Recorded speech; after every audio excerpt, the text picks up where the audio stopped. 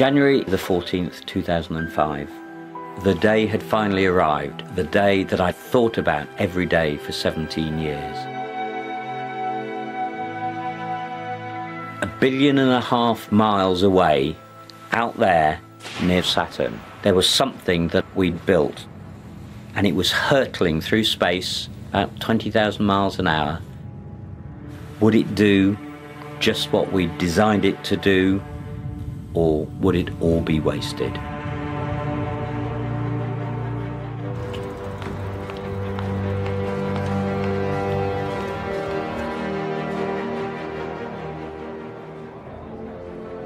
We went into the, the science room that morning uh, knowing that whatever was going to happen was going to happen. I mean, this was the day. There was an enormous air of expectation. Basically, everyone I met was as excited but also as nervous as I was about the whole mission. Frankly, I think we were all petrified.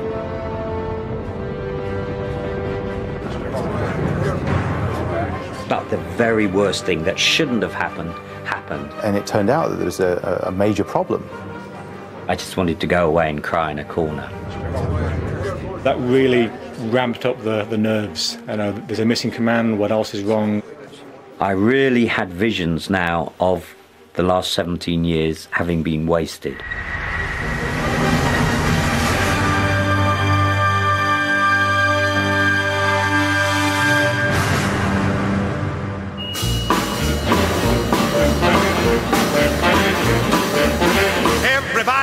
Watch the sky. The planets are jumping, and I'll tell you why. That Growing up in the late 50s, all I knew about space travel was probably from reading about Dan Dare, for example, in the Eagle comic.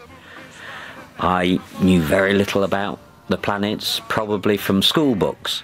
All we knew was from often rather blurry, indistinct images from telescopes on the ground. I think I knew that Saturn was a, a, large ball of gas, you know, we call it a gas giant, and that it was about a billion miles away from us here on the Earth. But I certainly didn't know anything about Titan. I didn't know that it was one of Saturn's moons orbiting around it. I mean, you have to remember, we didn't have any spacecraft images, of course. And then something happened to change all of that.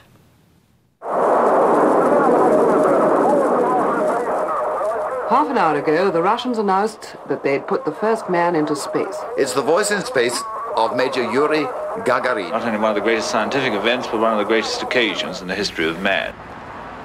It was absolutely mind-boggling, it's, and it's impossible now, really, to imagine the impact that it made. Man in space at the show. Excuse me, what do you think of the news? I think it's fantastic. Well, I can tell you he's now back, safe and sound. Really? I didn't think he would get back. Well, I say it's the very best for his good luck to the chap myself. Within months of Gagarin's flight, he embarked on a world tour. And I think it's true that the first port of call was the United Kingdom and London. Major Gagarin, could you tell us what you think of the reception of the British public? Прием английским народом везде очень теплый, очень хороший, дружеский прием. The welcome I have been given by the British public has been overwhelming. It has been most friendly and kind. Everybody везде открытые улыбки, теплые сердца. I see smiling faces everywhere, evidencing very warm What about you? Would you like to be a spaceman? Oh well, it all depends. If it if it comes up like a, everybody is kind of crazy, I think I might have a go. You might have a go, might you? Yes. What did you think of the major? Oh, I, I liked his uniform, I like I like the company all around him. The school that I was at, Highgate, was very close to Highgate Cemetery. Uh, of course, every visiting Russian dignitary had to visit uh, the tomb of Karl Marx. I remember school was cancelled for the afternoon. It was such a big event, you know, Gagarin coming to London, coming to Highgate. I think I only decided to come along here at the last minute. I'm not sure why, and I don't know that I'm a believer in fate, but it must have been fate, mustn't it? And uh, it was my eureka moment, seeing that man standing here, small man. But the thought he had been in space for what was it, 96 minutes. The first astronaut. And I was hooked from that moment on.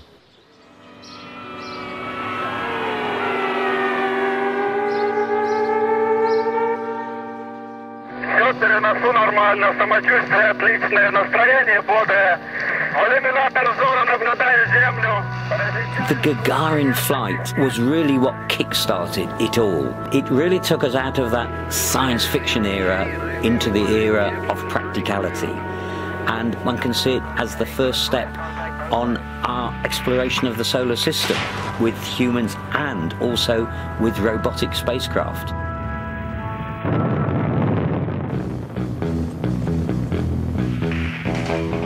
Oh, it's one of those things. If you grew up in the uh, late 60s, early 70s, you know, space was everywhere. It was the most exciting thing. You just wanted to be involved in it. Probably couldn't even imagine that you would be. There was a little bit of affluence, and some of the social boundaries and barriers were breaking down. You know, there was the so called youth revolution, and I was caught up in many of the demonstrations that were going on against the Vietnam War. It was, it was a fascinating time. It's one small step for man,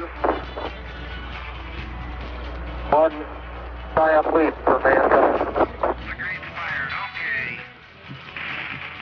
I was always interested in, in space. Um, I was interested in um, unmanned space exploration, you know, seeing other planets up close. All of this helped to cement, I think, this, this hope, this dream that I had that I could I could actually take this further. I could get my physics degree. I could then perhaps do a PhD and and really move to be a part of this whole worldwide space activity. It till I see it. I up with my feet. Hey, it is! I can see it from here. It's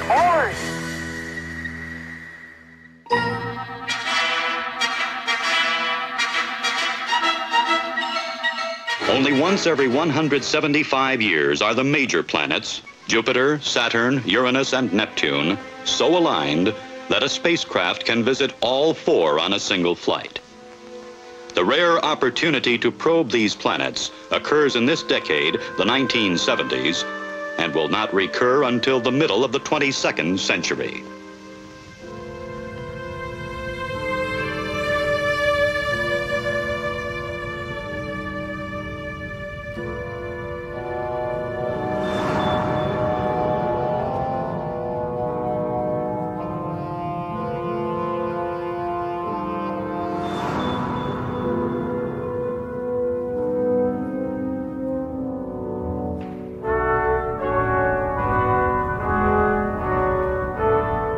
Most of what we knew about Titan, at least at this time, was from the Voyager spacecraft.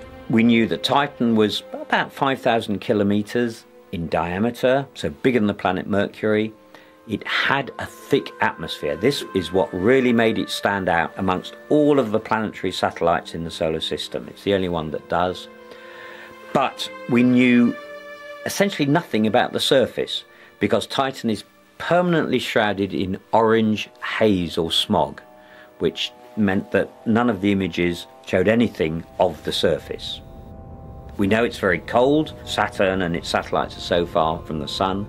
The atmosphere is very complex. It was known to have at least 12 different gases and probably having some similarity to Earth's very primitive atmosphere, one that we lost probably billions of years ago. There was organic chemistry on Titan, which was interesting, but, but Titan wasn't warm enough to have liquid water, which of course is one of the sort of prerequisites for, for life as we, as we know it. And I think uh, Titan sort of you know, faded into the background in a sense for much of the following decade.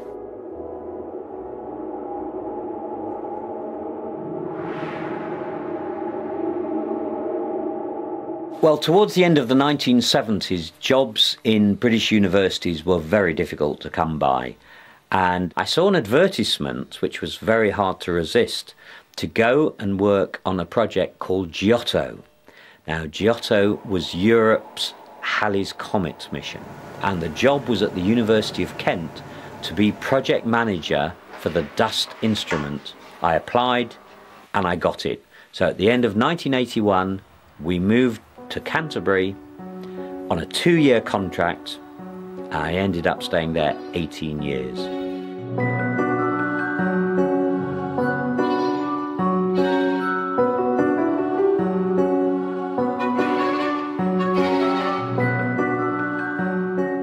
Giotto flew 594 kilometres from the nucleus of Halley's Comet. I mean, remarkably close. And we detected about 30,000 dust particles. You know, these are the particles that make up the tail of a comet. I think it was the mission that gave Europe confidence that it could really do ambitious things in space. After the success of Giotto, the European Space Agency were very democratic about selecting the next scientific mission. They had five candidate missions. And we got involved in a team on a mission called Vesta. Now, Vesta was going to fly past an asteroid, and we were part of the group that was looking at the possibility of firing some penetrators. They would be fired into the surface of the asteroid and make measurements of the physical properties.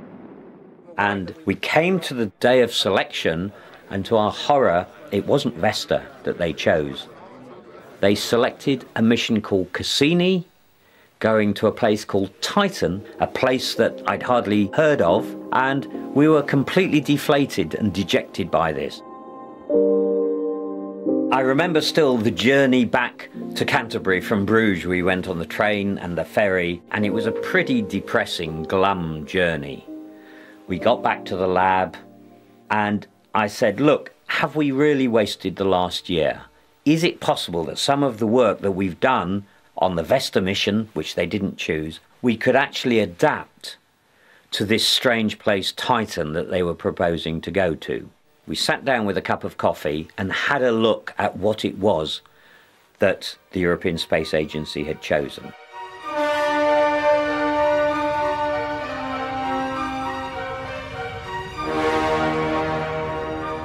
Cassini, as proposed, was going to be the most ambitious space mission ever sent to the outer solar system. It was planned to carry the first dedicated set of instruments for Saturn and its system, and it was to carry a probe that would detach and land on the surface of Titan. Now, pretty soon, we realized that the part of it that really interested us was the probe, which was going to descend through Titan's atmosphere. It was going to make the bulk of its measurements during the descent. And we realized, of course, how embarrassing it would be if the thing landed and it didn't have anything with which to make measurements on the surface. So we literally listed all of the physical properties that you might want to measure on the surface of Titan. We then wrote a proposal in response to the call for proposals to produce a, a quite ambitious, though small, little instrument called the Surface Science Package. We beat the deadline by about a day. We sat and waited for the decision. And to our amazement, we were selected.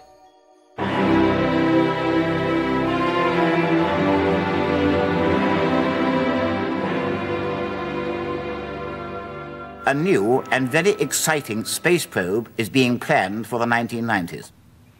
Dr. John Zarnecki is closely associated with this probe, and we are delighted to welcome him down to the sky at night for the first time, but I certainly hope not the last. Welcome, John. Thank you. I do my Sky at Night program. I'm going to do a program about Titan.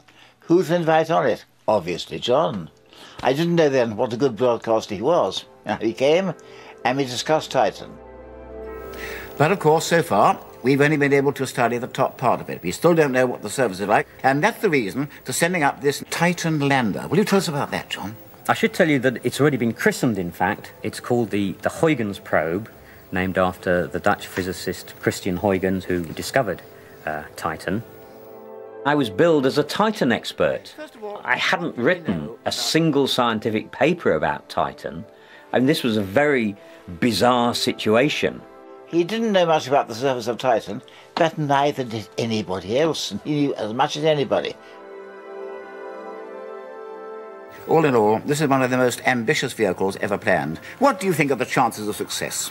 We must be optimistic. You would never embark on a mission like this if, uh, if one wasn't optimistic, and I, I expect that we might be sitting here in 13 years' time discussing the results from the Cassini mission.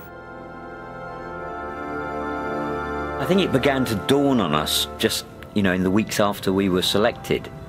We had to produce an instrument, one of a set of six scientific instruments, a bit bigger than a shoebox.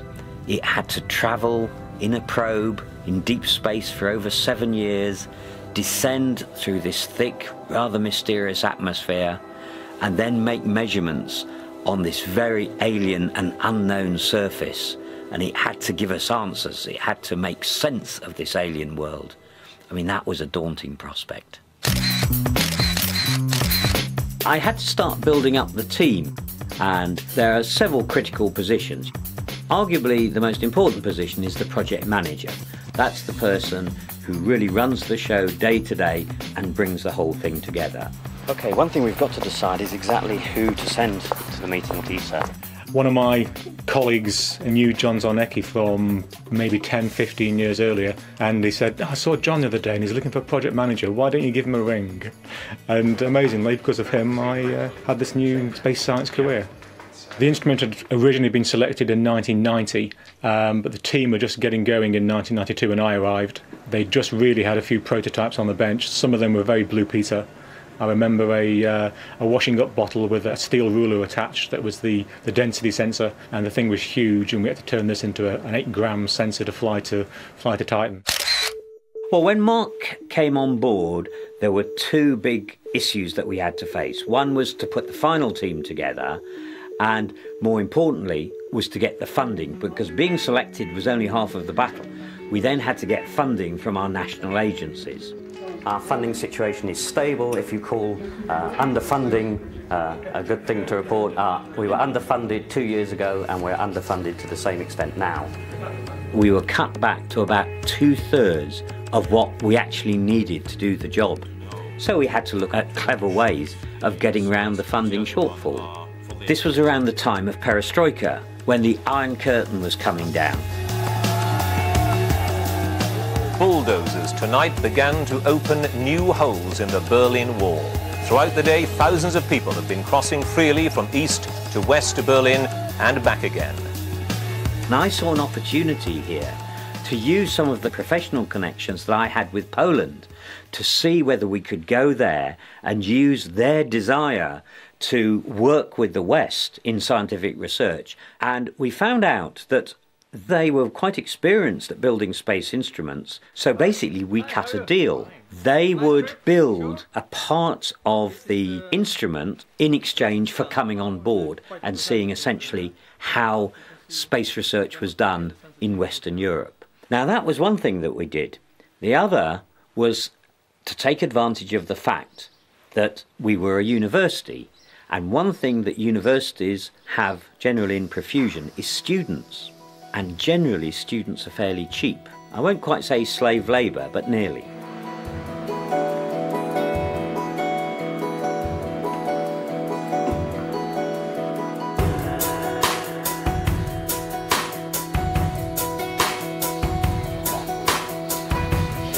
Project seemed a, lot like science fiction in the sense that somehow we were going to build this thing that was going to travel a billion miles through space and then parachute down through this uh, atmosphere at you know, minus 200 Celsius and touch the surface of one of the moons of Saturn. I mean, it, it just, just sort of boggles the mind that you can contemplate doing that.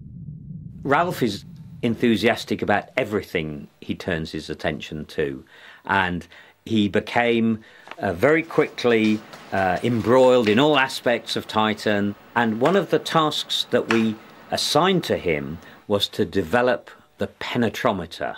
Well, one of the, the things we really want to answer with the, the surface science package is, is what is the actual nature of the surface of Titan? What, what's it, it made of? Is it solid like ice, or is it slushy, or is it liquid?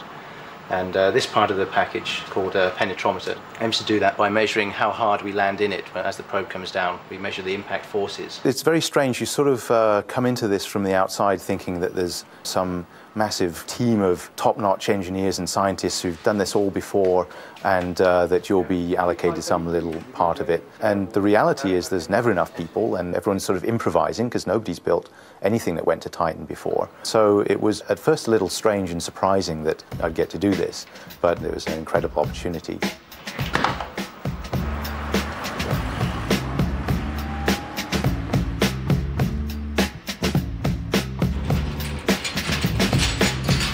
In, in the early days of the project, we were being followed by a BBC crew who were filming some aspects of the project for an Open University programme. It was an eye opener. It was the first time I'd been involved in that kind of thing. They uh, actually set up a sort of little video diary for us, a little passport photo booth where you just sit in front of this video camera and say what had happened. It's April the 13th. Uh, last week we uh, donned these crazy suits and went in the clean room to assemble the engineering model penetrator. This instrument will perform thermal properties measurements uh, to show the thermal conductivity and the temperature of the Titan Ocean. This will be sent away to be shaken, baked and electrically tested in what is called the top hat. That is the thing that holds all the experiments. As you can see it's quite small and fiddly, but I'm rather pleased with it. Uh, science students tend to be nerdy. Um, and uh, I think uh, I think as a group we conform to that stereotype but it means you're really utterly focused on what you're doing. I mean, you have sort of three years where you have no other commitments other than to do your, your research. And because uh, you know building a space experiment, going to going to Titan, is such a motivating thing. It was really really wonderful actually to to have that focus. The penetrometer was a fairly simple sensor in concept, but actually doing it well uh, took a lot of a lot of work and a lot of effort. Ralph was involved with uh, running loads of prototype tests and uh, dropping things into buckets of sand and seeing how different tips, shapes responded, etc. I remember one of the first things we did was got some sand from Whitstable Beach, and that was a huge mistake because it was real sand at the sea, and so it was all wet and salty, and of course salty water is an electrical conductor, and of course the signals we got from that were just terrible. It was building an instrument to go somewhere that we didn't know what we were going to land on, and that was a real part of the fascination. It's one thing to make a measurement in a laboratory, uh, it's another to make an experiment that is going to work for sure. Seven years later, after traveling you know, through space for a billion miles, that's going to work at uh, 200 degrees below zero, um, and that isn't going to suffer any kind of problem. The biggest fears we had were landing on uh, absolutely sharp exposed ice which meant for us that the probe might die pretty quickly. And our challenge was to get the data back before the probe died. At the time, uh, one of the main speculations about Titan's surface was that it was covered by a, a global ocean of uh, liquid methane. And so I spent quite a lot of time doing my PhD um, modeling the splashdown dynamics, you know, looking at all the old Apollo literature of uh, how a capsule decelerates when it hits the water and trying to figure out how much the Huygens probe would decelerate if it landed in you know, liquid methane.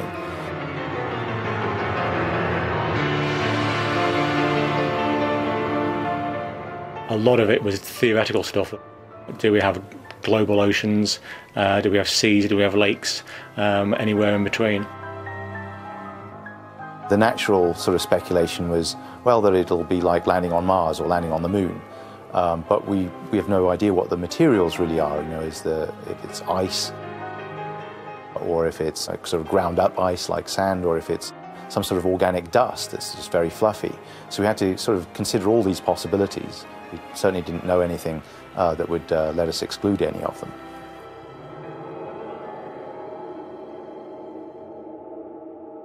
This is the final engineering model of the Huygens Surface Science package containing its nine different sensors.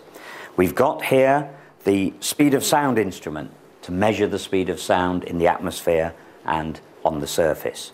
Here we have the sonar designed to send a signal down to the surface of Titan or to the bottom of the lake to measure its depth.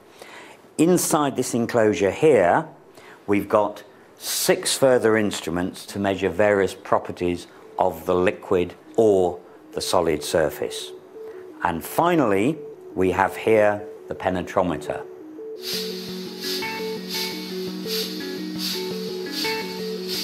Yep, output lines are clear, and we're running at about 6 psi over ambient.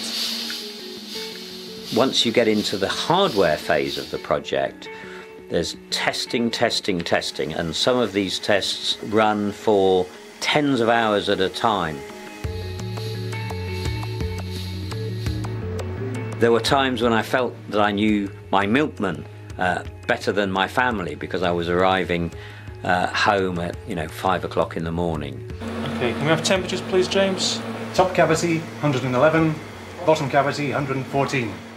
For this particular mission, one of the really unusual things was when we got there, we were going into a very, very cold environment. So many of the sensors we needed to test in liquid methane. It is a little bit hazardous, so we were doing this on the roof of the physics building. I guess the logic being that if we blew up, we only blew ourselves up and, uh, and no one else. A project like this inevitably puts strains on, on all the individuals involved, and, and that's you know, challenging enough. I'm not sure that my family really understood quite what I was doing. They sort of um, supported me, but probably thought that I was, you know, the crazy scientist, and maybe every family had to have one crazy scientist. I was very lucky in the sense that uh, I'm quite a sort of self-motivated, self-driven kind of guy, so I didn't need a lot of a lot of hand-holding, um, and that was just as well because uh, John uh, was a busy man. You know, the job he was doing as a university lecturer and building this space experiment, you know, it's quite demanding, um, and he was going through some some personal difficulties at the time too. The early days of the project coincided with, you know, the breakdown of my marriage, so I have to say that there was about a year in the project that was very, very difficult. I mean, I, I find it difficult even to think back to those times. Um, it was difficult to keep everything going, to, frankly. Um, and I was very lucky. I had a, a, really good team who, when things got very difficult for me, they were more than able to keep the show on the road. There were some very, very long working hours involved, uh, particularly when you get to the flight model and you're trying to get everything to meet the deadline. If you miss the delivery, you're not going to Titan. You ever have a, one of those weeks where nothing works? Our fax machine is broken, the photocopier didn't work, the coffee machine is broken down, even the BBC's bloody light has stopped, so we have to improvise with this desk lamp. I'm sitting in this, this, this dark old laboratory with an experiment that's not working, and you sort of think, you know, is this really what I want to do? Have I made the right decision? But, but then you sort of remember the bigger picture. The project developed, it was hard and painful at times, but finally we got to the very last test. This was the vibration test. And can you believe what happened? The damn thing broke. The structure which held our instrument together cracked I was personally devastated to hear the news. Uh, I realised the impact of it straight away that uh, even just rebuilding the top hat was going to be a problem, but the fact we had to rebuild sensors too made that meant that every aspect of the of the project had uh, had his hands full with a huge huge workload. There was really the possibility that um, the European Space Agency might say, "I'm sorry, guys, you're not going to make the uh, the delivery date. You're not going to be on the probe. You're not going to Titan." Um, and at that point, it was at least four years of my life dedicated to that instrument. You know, we, we had to find a solution. We had to get out of this hole. It had taken maybe maybe six months to to build this flight model, and we were two weeks away from delivery and had to rebuild the whole thing. For John, it was an even longer time on this project, and again, he knew instantly that there was a chance we were getting thrown off this mission. We came up with a strategy whereby we would deliver the engineering model to the spacecraft. That would enable ESA to continue with their program. They couldn't hold it up. This meant we had to dismantle the whole thing, remove all the harness, um, fix the structure, but also build flight spare instruments, calibrate them, put the whole thing back together. In the end, it took about uh, three or four months to go through the, the whole thing again, but it was touch and go. We worked around it, we came up with an alternative design and we delivered that to the spacecraft. Late, but it was working.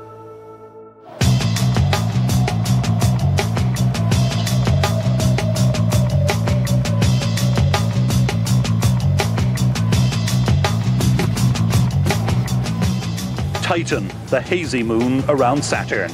Today, a huge rocket is being prepared to explore that distant world. Europe and America have joined forces in a $3.5 billion mission called Cassini.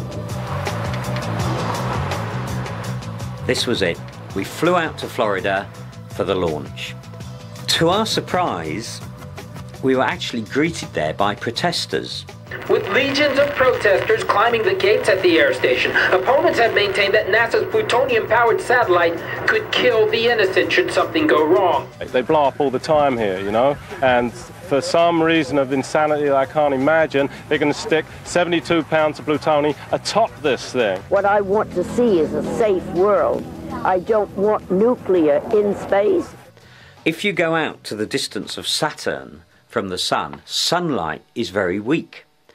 So you can't use the traditional way of generating electricity on a spacecraft, which is to use solar cells.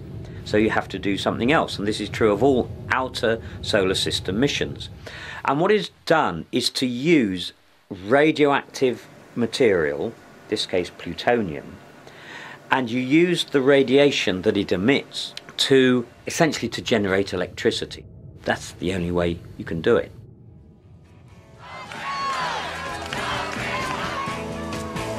Just seemed to be this sort of uh, knee-jerk reaction that uh, you know radioactivity is this terrible thing, um, but for me it was just you know just a, a, you know, a necessary part of the, um, the, the spacecraft. But you know how would how would the protests affect the launch? Would they you know get in the way? Would we be you know getting tomatoes thrown at us? I mean, it took me back to my time as a student in the 1960s, when I was doing the protesting, when I was carrying the banners. Now, there I was, I was having to cross the picket lines.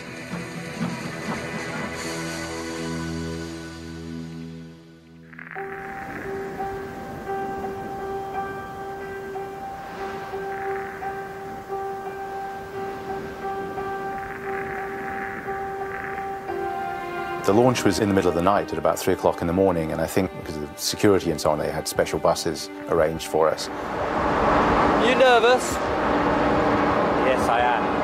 Yes, I am. Yeah, I'm a little nervous. Yeah, just a bit. I mean, seven years' work, and you know, this is the the make or break night. I mean, there's a you know a lot of work down the line from here, but but this is really where you know one one place where it could fall down. It was always in the back of our mind that any rocket is only 95, 97% reliable. So there's a good chance that if the mission fails, it was going to fail now. LC's RCO and 2, recorders are running. Launch command systems now enabled. T minus 1 minute, 30 seconds. Sat there biting fingernails and uh, trying not to get too nervous, uh, waiting for the, uh, the, the okay that they are going to launch. T minus 10, 9, 8, 7, 6, 5, 4, 3, 2, 1.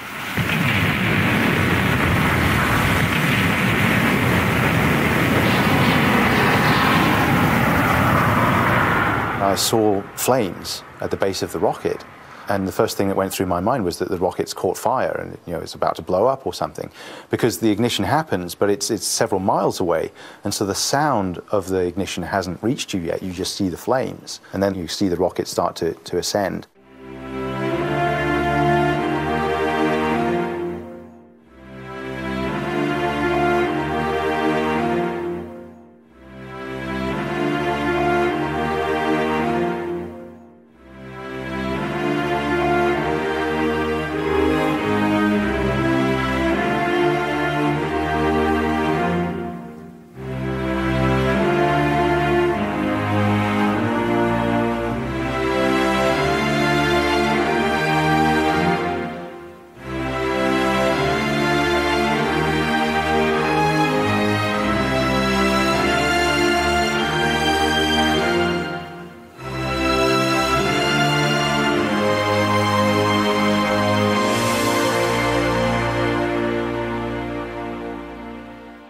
And then the direct sound hits you, and there's this sort of wall of you know deep rumbling bass, and you get the sense, wow, now we're really on our way.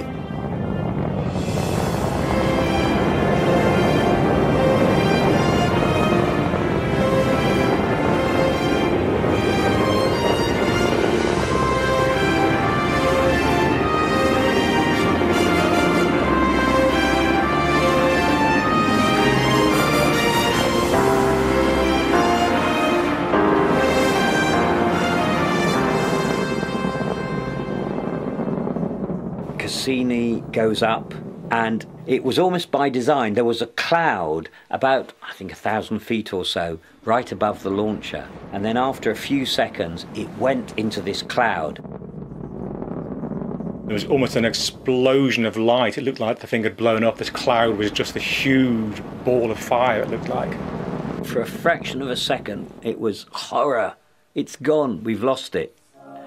But then we saw Cassini appearing above the cloud. It was coming through, and then it went up into this clear black sky, absolutely serene, truly wonderful sight.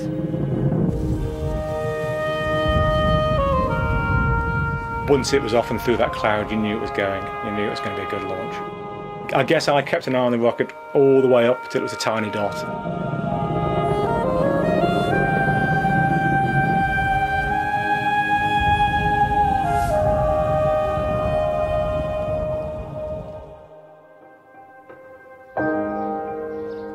During the, the, journey to Titan, we actually moved our team to the Open University in Milton Keynes. A lot of things do happen in some respects. I mean, one is rather sad because the team that we'd built up to design, build, and launch the SSP, much of that team dissolves. We don't have the funding to keep that team going all the way through. But we kept a core team together because roughly every six months we switched the instruments on and we ran through what are called housekeeping tests. How did you go into MO4 on time or on altitude? This time we went in using the seven kilometers altitude. Okay. We check out the instruments, make sure the spacecraft was working fine, that our instrument was working fine. There were a few minor things we monitored and a few software uh, bits we changed. Nothing too major from, from our side.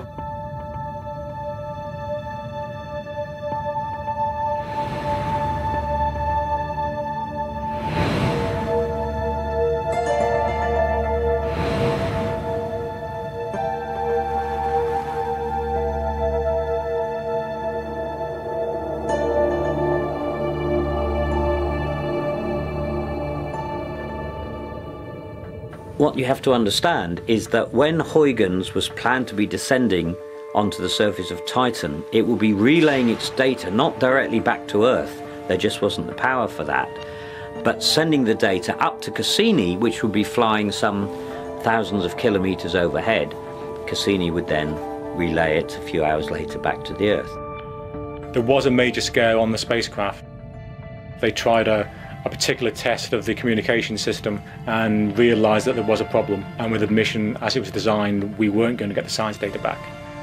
One thing that was tried was um, using a radio telescope on the ground to sort of pretend to be Huygens and transmit a signal as if it was Huygens to check that Cassini could receive that signal correctly.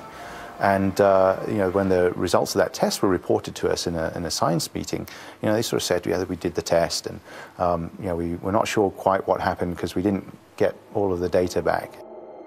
To put it simply, it's as if Huygens was transmitting on Radio 1 and Cassini was receiving on Radio 2. In other words, there was a very slight mismatch in the frequencies, but it was enough to potentially scupper the whole of the Huygens project. That was obviously a huge, huge uh, problem, um, very frightening from the scientist's point of view, but um, the system quickly got together, came up with some options for solutions. There were 11 possible options that were found that might be able to address this problem. In the end, we picked on one of them as being the potential saviour. This involved Cassini, instead of releasing Huygens on the first orbit around Saturn, releasing it on the third orbit. That would change the geometry between Cassini and Huygens by just the right amount to bring the two frequencies back into synchronism. Quite remarkable.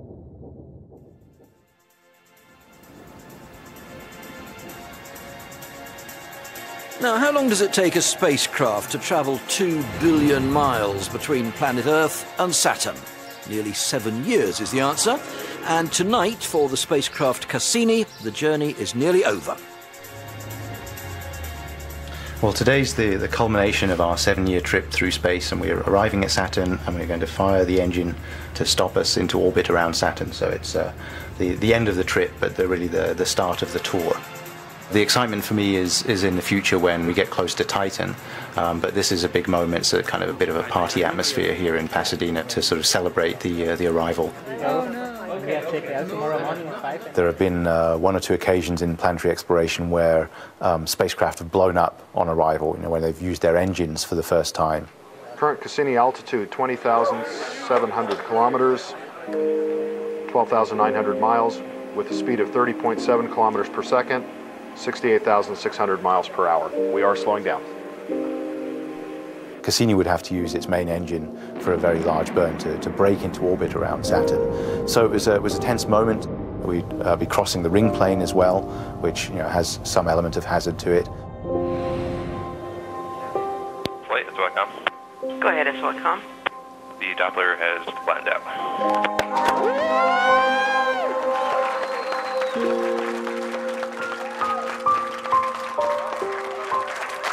Okay, we have burn complete here for the SOI orbit insertion burn. That was a, a, a big moment. And then once it was in orbit, then sort of everything was just kind of quiet and, and you know, basically following the script just the way it was uh, supposed to. It would actually be a little over six months before Huygens was delivered to Titan.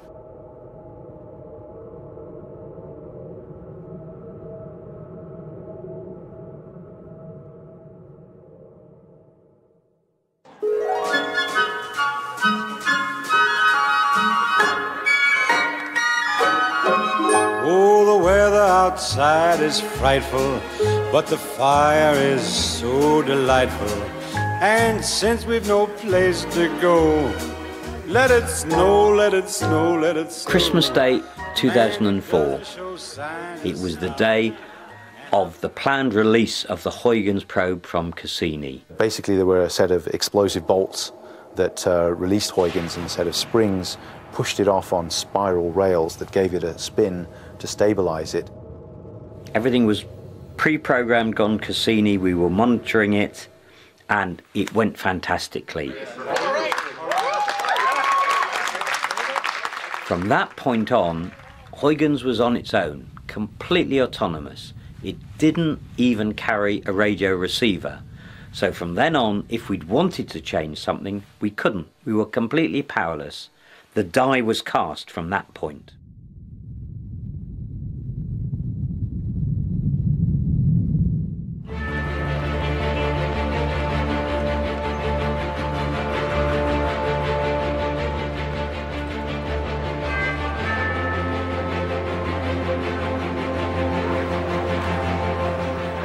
Got into the control center, basically everyone I met was as excited but also as nervous as I was about the whole mission. There was an enormous air of expectation. It had been building up for the last few days. We went into the, the science room that morning uh, knowing that whatever was going to happen was going to happen. I mean, this was the day. Some people had said, oh, nobody will be interested in this. But by this time, we had something like 300 of the world's press there waiting to see what would happen. There was uh, lots of vans and TV cameras parked outside, and anyone who could be grabbed by a media guy was getting grabbed. There's a, a little bit of a siege mentality. You know, a scientist was kind of walled away in our little room. It was hard to concentrate on the uh, on the important important work and not get distracted by uh, by all the all the calls for your time. I couldn't stop thinking that about a billion and a half miles away, out there, there was something that I had built about this size, and it was hurtling through space about 20,000 miles an hour, and it was about to get a rude awakening. The plan was Huygens would hit the top of Titan's atmosphere at a speed of 7 kilometers a second. Over the next two minutes, it would slow down to about 400 meters a second. At that point, Huygens would deploy the first of three parachutes, and that would enable it to float down to the surface at a relatively slow speed. Then the six scientific instruments would be switched on to really perform their job that they'd been waiting for for about seven and a half years.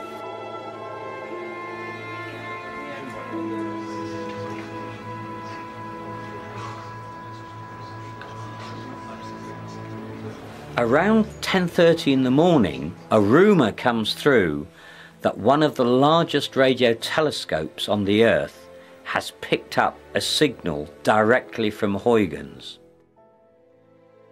It looks like we heard the baby crying.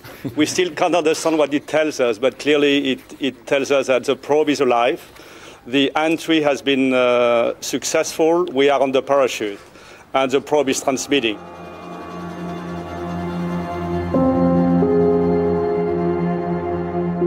Project scientist Jean-Pierre Lebreton announced that news and there was a huge cheer and it really meant a lot to all of us. We knew that the most critical part of the mission was successful.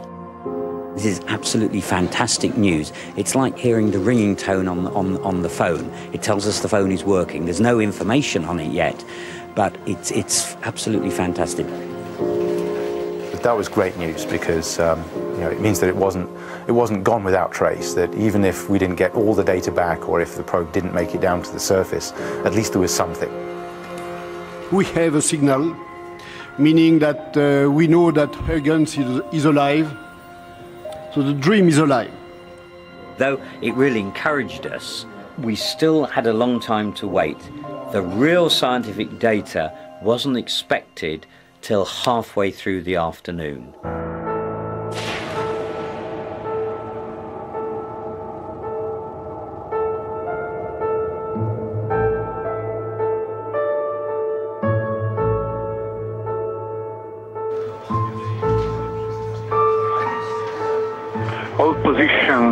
On the Peterloo. I'd like to let you know that in about four minutes we will receive probe telemetry from Huygens. We were expecting to get the data at around 1725 Central European time. So we were gathered in the main control room there was lots of banter, lots of discussion.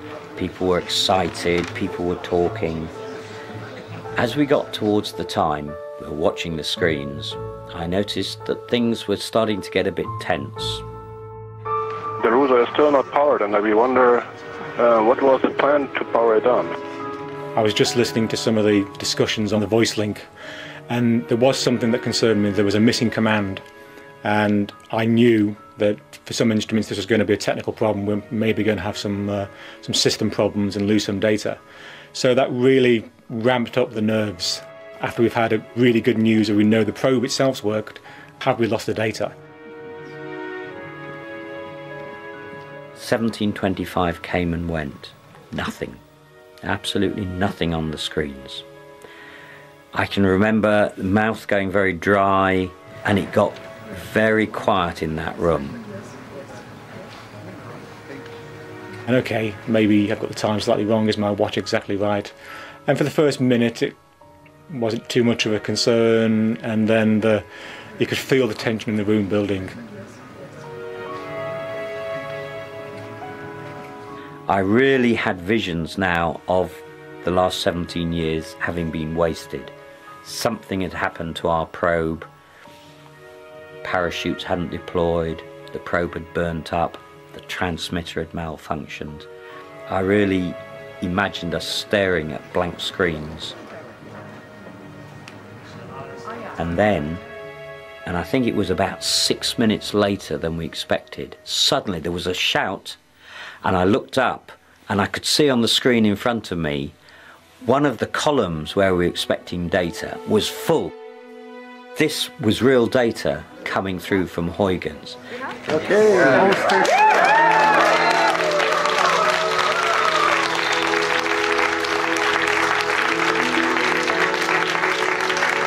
It was absolute huge relief to see the screens uh, light up with uh, with colour and display. You could just feel the tension pop in the room.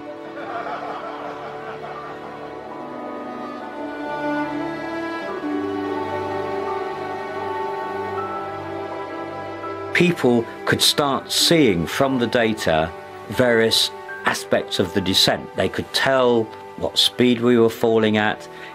After a while, somebody said, you know, we've had two hours of descent. I mean, we must be getting close to the surface.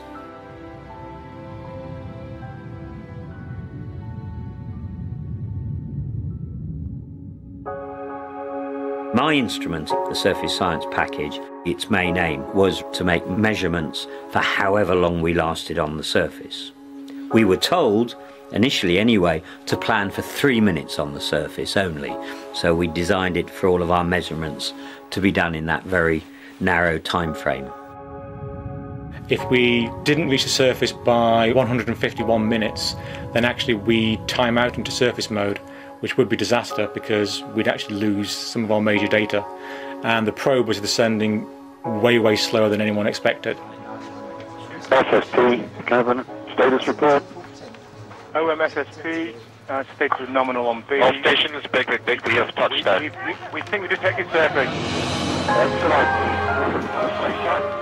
And in the end, we had just over three minutes to spare when we hit the surface.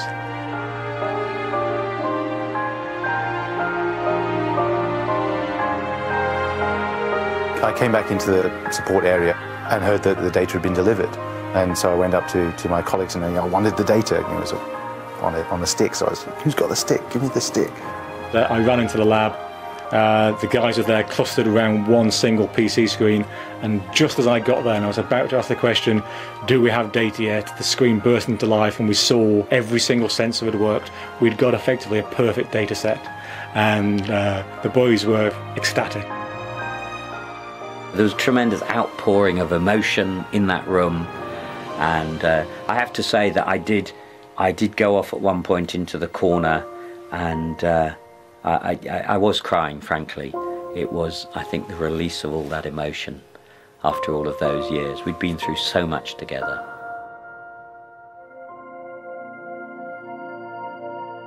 So we are the first visitors of Titan and the scientific data that we are collecting now shall unveil the secrets.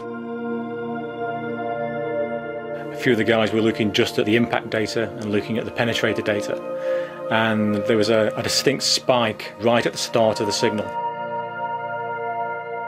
We've hit something hard, it's as if we've hit a crust on the top, and then after that, the material below is much softer and we pushed into that without much resistance. We had to make a, a chart um, for, for John to present to the, the, the, media at the press conference later that evening of what the possibilities were. And we sort of wrote, well, could be sort of like packed snow or maybe sort of wet clay, but there's this um, extra spike at the beginning, so maybe there's a crust. One of my team actually has suggested an alternative analogue, and this is because of the, the, the crust perhaps we see there, and that is creme brulee. Um, but I don't suppose that will be appearing in our, our papers. And the media just loved that. That was, um, uh, you know, in the uh, headline in, in Nature magazine um, that week. You know, Titan team gets its just desserts with creme brulee surface or something. So that was that was really good PR coming up with that uh, uh analogy. We can report that the Surface Science package collected data for three hours and 37 minutes. Apart from any scientific and engineering importance of that figure, some of you might have heard that we had a sweepstake in our team for the uh, moment of impact, and I'm slightly embarrassed to have to tell you that it was I who won the sweepstake. and the prize, which was a very old bottle of Scottish medicine, uh, was consumed by the team at about 2.30 this morning. John put in a good bet. He was 10 seconds off on a two and a half hour descent time. That's, uh, that's almost a magical touch, I think. Oh no, it seemed actually entirely appropriate.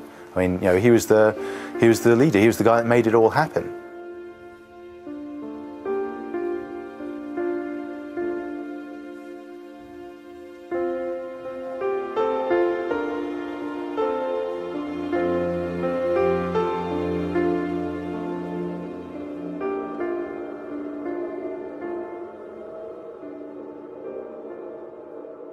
There was barely a single day since the project had started when I hadn't tried to imagine what the surface of Titan looked like.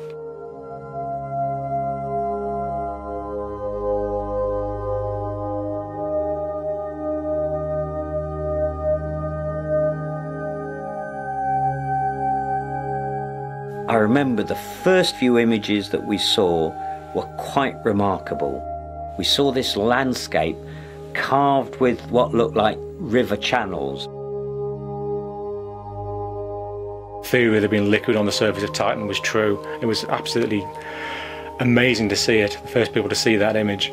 Also, it struck me that it looks so much like Earth. You know, it looked like Arizona, it looked like the French Riviera, it looked familiar. Uh, and that wasn't something I think we were expecting.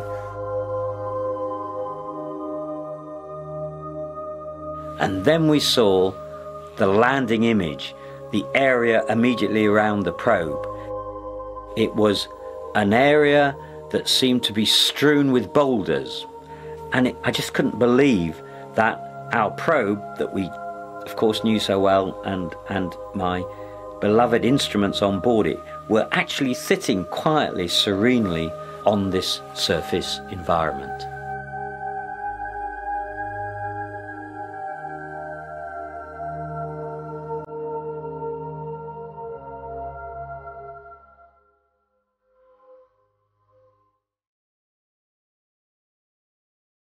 What we've learned is that Titan's surface is incredibly varied. It shows features which show some similarity, at least superficially, with Earth. We're now pretty certain that we see lakes and seas of liquid methane. There's a whole range of geophysical processes going on that's shaping the surface of Titan.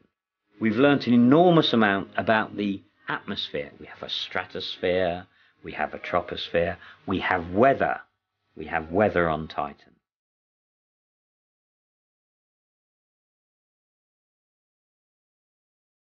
I think it shows our sphere of influence, if you like, our sphere of knowledge expanding beyond the Earth. Our machines have put their foot on the surface of Titan. We've shown that we can do it. It's part of that process of exploration that I think we've always done. It's, it's, it's part of what defines us as human beings.